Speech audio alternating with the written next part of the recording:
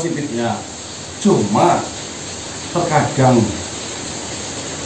posisi saya lagi sibuk-sibuknya saya dipanggil sama istri saya mas rezeki saya seret saya denger itu kupingnya ini ikut surat. Aduh. Sebenarnya kalau dipikir positif ya wah ini kesempatan kamu nanti ke juga ini alhamdulillah bisa jadi pelajaran teman-teman di rumah ya kita sharing-sharing aja lah gitu Jadi silakanlah Mbak Indri bisa jelaskan apa yang terjadi pada diri Mbak Indri sehingga eh, sampai datang ke sini tujuannya seperti itu. Oh, seperti itu ya Assalamualaikum warahmatullahi wabarakatuh. Waalaikumsalam. Yang pertama saya ucapkan terima kasih tim Gasek karena udah menyediakan waktu dan tempat. Ya. Saya fans berat tim Gasek ya. Ya, terima kasih banyak. Jadi Dari video awal sampai sekarang ngikutin terus. dari bawah petuk gitu ya Iya. Sebenarnya rumahnya nggak jauh ya, Iya, cuma cuman beda kabupaten aja.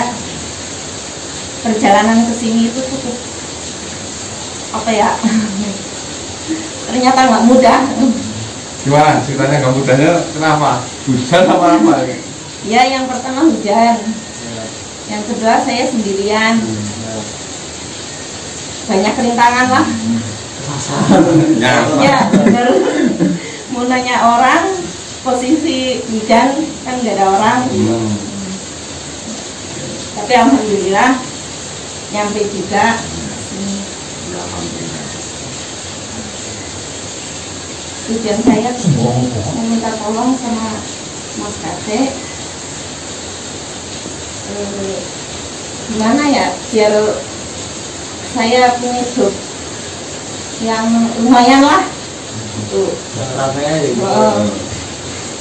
kan Mas Gase biasa main misteri tapi bisa.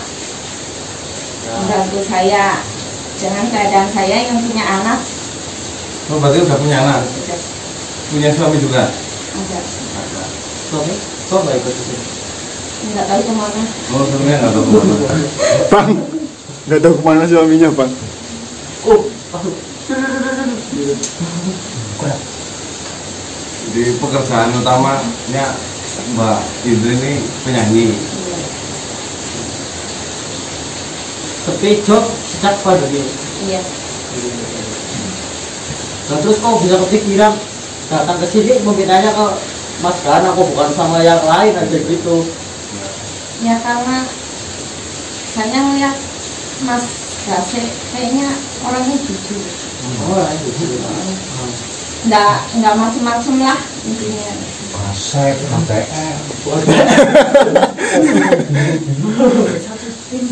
Ya tapi kan itu tadi. Iya. Terus apa lagi Mbak Indri yang tadi Mbak Indri sempat obrolin?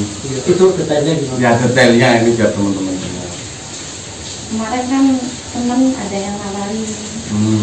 ke ya dukun lah dikatakan dukun ya? Nah, Mbak, Mbak Dani, Mbak Dani. Gimana dukun itu?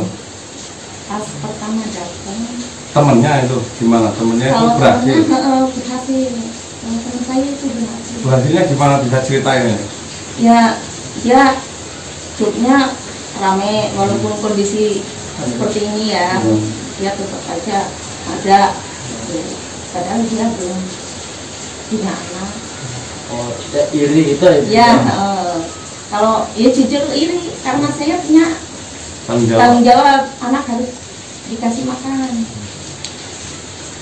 Dan itu si temannya itu udah pernah ke sana juga Pernah. dan berhasil ternyata. Iya. Akhirnya disarankan. Mbak Indri disarankan Oh, disarankan ke situ. Tapi udah sempat Mbak Indri? udah kemarin udah sempat kalau nggak sekitar tiga hari yang lalu Gimana cerita ini ya ini? Nah, terus kok masih minta lagi ke sini Iya ya? bisa-bisa udah datang ke dubur masih ke sini duburnya kurang manjur kan Bukan ini kan? Kalau ini udah kenal bakal kalau saya percaya kalau tim gasek insya Allah jujur semua lah ya amin amin, Amin. Orangnya gimana itu? kemarin ke sono terus pas baru datang orangnya kurang gimana ya kurang enak lah. Berarti mbaknya apa? Iya. Berarti orang melihat galak atau gimana? enggak pas saya masuk itu dia udah mulai mata Main mata jadi bang. Mamanya semua ini. Fotonya buat Pak Ini ini. kan mana meluk-meluk potong. ya dari mbah itu Mm, Ya, Bisa saja kelilipan ya. ya beda lah mas Beda. Mm, Terus habis itu langsung pergi aja gitu gara-gara enggak sih sempet sempet ngobrol sama mbaknya itu Mm. Tadi awalnya kita duduk kan jaga jarak ya. Ya lama-lama si mbak ngedeketin saya. Tapi udah sempet uh, ngomong sama mbaknya tentang keluh kesahnya itu. Udah. Terus mbak jawabnya gimana bisa ya? Bisa. Hmm. oh, asal maksudnya saya merespon dia. Oh asal ngerespon dia. Oh, oh. respon gimana maksudnya? Yang itu tadi di pertanyaan. Oh? Mas dikit ada sapu lagi. jadi apa yang maksud respon itu Eh, ya dia apa sih mbak itu ngedeketin saya awal megang tangan saya udah mulai gelisah Nah, Oh, ini mulai curiga gitu. eh, pas saya tolak hmm. tinggal minta bayaran Hmm, tuh. Jadi awalnya Wah, udah sempat nanyain bayaran gratis katanya. gratis gitu. iya kalau teman saya bilang dia gratis sama sekali nggak nggak keluar biaya Hmm. Tapi setelah mbak Indri datang ke sana ya emang gratis Mm-mm. Tapi- tapi asal asal apa mau di Respon. respon Oh, respon kalau tanya apa ini mas Iwan ini mas Iwan yang masih bujalan tolong dijelaskan BM yang ilmunya tinggi kalau dunia seperti itu. Nah, ada yang mata sama ini pasti. jadi mbahnya itu uh, merespon kalau mbak Indri merespon dia maunya apa Mm-mm. di- menurutin gratis. gratis. Kalau enggak harus bayar. Harus bayar. Sedangkan mbak Indri terawihnya datang sana kan gratis ya Iya. nggak bawa uang ya. Iya. Ya, dengan dengan